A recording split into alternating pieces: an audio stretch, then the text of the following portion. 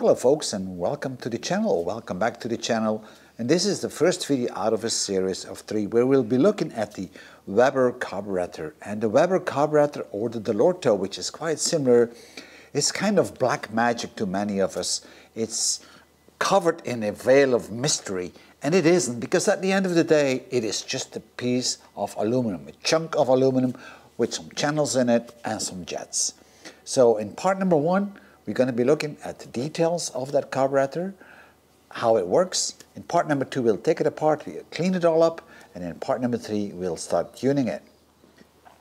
And we will be looking at the Weber carburetor made in Italy because there's also a Spanish one, they are very similar, of the type 40 DCOE, and that stands for Doppio Corpo Orizzontale, and E stands for standard. So what it means is side draft carburetor. And the 40 stands for the opening that we have on the carburetor towards the manifold. So what's the purpose of a carburetor? Well, the carburetor has to supply the proper air-fuel mixture, a 14 to 1 ratio typically, into the intake manifold of the engine. And it has to do that under all circumstances or all running conditions of the engine. It might have to do that under an idle condition. The engine is spinning idle. It may have to do that under an acceleration situation. It may have to do that under a cruising situation. And it may have to do this under a full open throttle situation. Or in very extreme cold situations where you have to get a cold start. And the carburetor has to be able to deal with all these different situations and deliver the right amount of fuel. Not too rich, not too lean. And how does it do that? Well, there's a very simple principle, and it's called the Venturi principle. Let me show you that. And I'm going to demonstrate it here with a pen, which is just a tube. The top of the pen, we consider that to be the nozzle, and then the water is our fuel. And the principle is as follows. If air flows over the top of the nozzle, it's going to create a local vacuum there, and that vacuum will suck up the fuel through the tube, and it will mix with the passing air. So let me try to show you that. I need to hold it a bit. I'm going to blow some compressed air over it and you'll see it. You see that? And that's how it works. Very simple. Of course, this was a bit simplified because the carburetor has more jets inside than just one, because we need to have the right jet for the right regime of the engine. We have the idle, we've got the acceleration, we've got the cruising, we've got the wide open throttle, so we have all that. And on top of that, the proper mixture is going to be determined by the nozzle or the jet opening, but also by the type of engine you have, the displacement of the engine. And these are all parameters that we need to consider once we start looking at proper jetting the carburetor. But for now, we forget this. This is going to be in part number three. Now we're going to focus on the carburetor itself, on all the different parts, where they are located and how they work. I will show you some diagrams and it may become boring, but just skip that part if you don't like it. But it is not complicated, so stay tuned because you might be interested in it. The carburetor is a dual carburetor, so you will see everything twice. You see twice the gas throttle. If I open up the gas throttle by depressing the gas pedal, this will open up. And now air can flow all the way straight through. Now we call it fully open. Now you might notice that there's a little number on there. Let me show you that number because that's important. On the throttle plates you will find an engraved number and this specific one is saying 79.30 degrees. That's the angle under which this gas throttle plate is sitting in the housing. Now over time the housing may get some more wear and tear so it might move a bit further. Uh, this is very important because it also relates to the progression holes we will talk about in a few seconds. So it might have to be that over time you may have to change this plate. This specific Weber has what we call a choke system on it. On many of them you will see this blanked off because you don't really need this if you're into racing or high performance cars. There's no need for that because you can squirt pure fuel directly into the intake manifold through the acceleration pump. And let me show you that. But in case you live in very cold areas, you might want to use this. Let me take off the inspection cover on the carburetor and I will inject some fuel so I can demonstrate how you can actually squirt in fuel into the uh, intake manifold. Now why you don't need a choke. Cold starting the engine with a Weber carburetor without a choke system is not a big deal. All you need to do is push a few times the gas pedal and then you will see that fuel will be squirted directly into the intake manifold. Have a look over here, guys. See that? There's a common misunderstanding that a cold engine needs a far richer fuel mixture than a warm engine. And that is absolutely not true. It doesn't matter if the engine is cold or warm. What gets into the combustion chamber should have more or less the same composition, the same ratio, air to fuel ratio. What is true though is that when the engine is cold, the intake manifold and the block and the carburetors, everything else is fairly cold at that moment in time. And that the mixture that's inside the carburetor, air and fuel, is getting thinner or leaner on its way down into the combustion chamber because you have losses. And that is why we need to enrich on a cold engine the mixture inside the carburetor because we have a loss on its way down. So the first circuitry we're going to look at is the idle circuitry. And in the front of the Weber carburetor, close to the intake manifold, you will find this idle mixture adjustment screw. And typically half a turn to a turn and a half is the correct setting for a proper mixture. Now obviously this screw alone is not going to do the adjustment for the correct mixture for your carbon dioxide. Inside the well you have the idle jet and we'll have a look on the idle jet in a few seconds.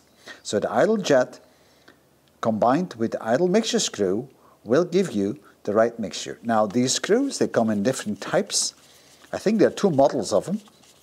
And mine is the uh, fairly sharp one. You have one which is a bit more blunt and they are very sensitive. Here is that screw.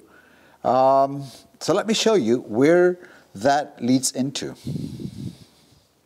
When the engine is idling, the gas throttle is fully closed. So in other words, the engine can't get any fuel mixture through the main jet. And that's why there is a very little hole there. You see that just below my pen.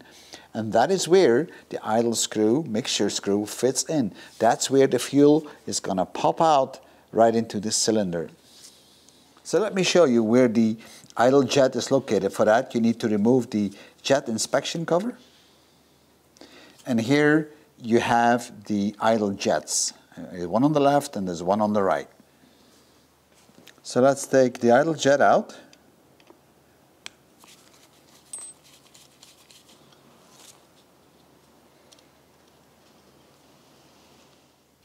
This is the idle jet and on the top you actually have the opening and this specific jet is a 50 F8 and you will have to tune and match this depending on your engine type depending on the volume, and you may have to fit different types. I will come back to all these numbers later, but not right now. That will be part of the tuning aspect and the rebuild. So we now have looked at the idle circuitry of that carburetor. We've seen the fuel mixture adjustment screw, which is all in the front, and we looked at the idle jet opening. And they come in different types, and there's a number stamped on it.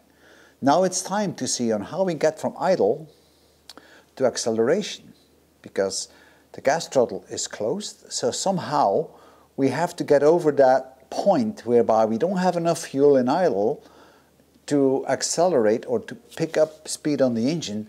So that's why we now going to shift between an idle condition and a actual running condition. And that's what we call progress, right? We're progressing from idle to running. And that progress is arranged by progress holes. Sounds weird, but the progress holes are little holes that are drilled into the actual carburetor and they are feeding fuel over the same circuitry as the idle circuitry, additional holes, so a bigger opening. And it's important that these holes are being uncovered at the right position of the gas throttle. So let's have a close look on that. And just behind the idle mixture screw, you will find the screw that covers up the progression holes. So let me open that up for you so you can have a better look. And inside you see the three progression holes. So I'm going to place a light in the front of the carburetor where the intake manifold is and pay close attention to the progression holes. While I'm depressing the gas throttle, slowly you will see them opening up little bit by little bit as light is coming in. Now all three are open Now my gas throttle is already partially open now, and if I push it a little bit further, now I'm going to have help from the main jet, which will start to work as long as the airflow is sufficient. But in that very initial phase,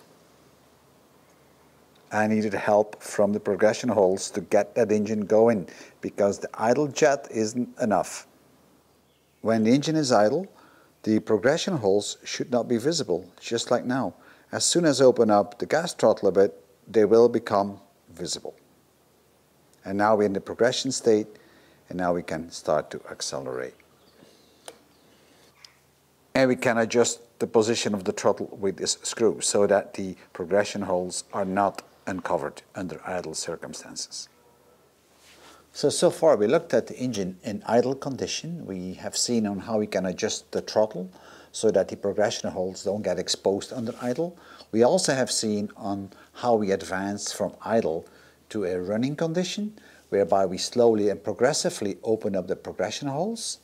And now it's time to look at an acceleration situation because some moment in time we want to floor that pedal and then accelerate. So let's have a look on what circuitry we have on the Weber carburetor for acceleration. Acceleration requires additional fuel to be injected into the intake manifold or into the cylinders. And we cannot rely on the Venturi system for that because that's a bit too slow. That's why we have an acceleration pump. And watch how it's going to squirt. And in fact, I showed it to you already, uh, what you could do for a cold start. But have a look. See that squirt? That's the acceleration pump, which is doing a one-time squirt of fuel directly into the intake manifold. And I'm sure we all have experienced the issue with our car that if you floor the pedal, the car is hesitant to pick up. It's kind of like, and then it goes. And that is exactly because your acceleration pump is not working properly. It's not squirting at the right time or it's not squirting at all. And the acceleration jet is just behind the progression screw. So let's take it off and have a closer look. And there it is. This is your acceleration jet. Now the jet by itself is not sufficient because you're going to need an acceleration pump which is underneath this cover. And that's where the acceleration pump is. So if I open up the throttle, you will see the acceleration pump going down. We looked on the acceleration jet and we looked at the acceleration pump, at the plunger more specifically, but there are many more parts involved on the acceleration pump, like little valves that prevent fuel from going back into the fuel cup, where all the fuel is contained with the float. At the bottom of the carburetor fuel cup, you will find the anti-return valve for the acceleration pump. So we looked at the acceleration jet, we looked at the acceleration pump, and now we know that this is injecting pure fuel into the intake manifold one time once you floor that pedal, so you want to accelerate very fast, and this is done to overcome the dead moment before the main jet can start doing its job. So now it's time for something serious. It is the main jet and the emulsion tube. Now that sounds complex, and in fact, it is a bit complex. Now, if you're driving the vehicle, the gas throttle will be open in a certain position. And you're going to need sufficient fuel. Now the amount of fuel that you're going to need is going to depend on many things. How many RPMs you're doing, uh, how wide is the gas throttle open, all these things will have an effect on it. So therefore, the main jet has to adapt to that. We need a dynamic, adjustable fuel mixture depending on the need at that moment in time. And therefore, we have what we call a emulsion tube. It is actually a tube, where on the bottom you have your main jet, and on the top you have your air compensation jet. And in that tube, fuel and air will vary. And now the level of the fuel in the carburetor cup is now becoming very critical and important, but we'll talk about this after this. And then out of that tube, in the middle, you have some bleeding holes, and these bleeding holes will then feed the auxiliary or the secondary venturi. So let's have a look at that. The main fuel jet is responsible for fueling the secondary venturi, this is that tube that you see coming there right in the middle. And that fuel there is regulated through the emulsion tube that I just mentioned. So now let's have a look on that emulsion tube and see on how that works. I have removed the top of the carburetor and on the right hand side you find a emulsion tube and on the left hand side you have the other emulsion tube for the second part of the carburetor. So let's open it up and have a look at what that is.